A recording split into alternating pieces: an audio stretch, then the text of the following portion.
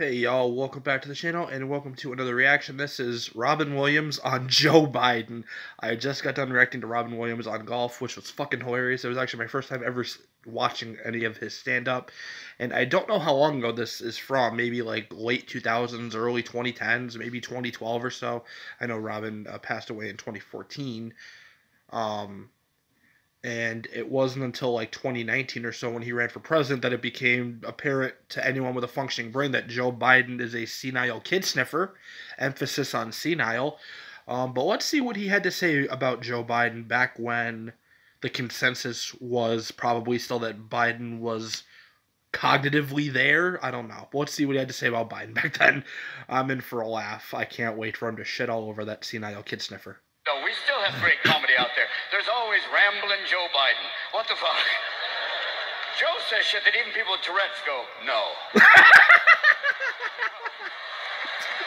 what is going on?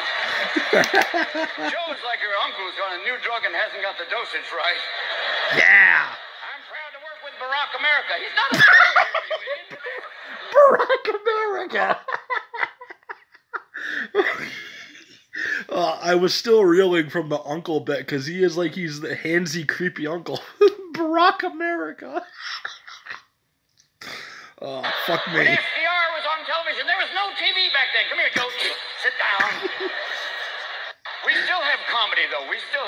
We still have comedy, though. We still have great comedy out there. There's always rambling Joe Biden. Uh, is that it? So they just replay Joe that. says shit that even people with Tourette's go, no. so it's like 30 seconds long, but they just replay it. Even people with Tourette's go, no. I'm proud to work with Barack America. Oh man, I'm gonna cut this short because I didn't realize it was only gonna be like 30 seconds long. Oh man, he hit the nail on the head uh, see, he predicted the future. He was ahead of his time. Because if you remember when Biden ran for president, he was like, "You guys remember Barack Obama? I was his vice president." Oh man, that's funny. Oh my god, I don't want you guys. I don't want you to see me lose my composure too much. Uh, that's gonna do it for this quick video. Thank you for watching. Like, comment, subscribe, and hit the bell. We'll see you on the next one.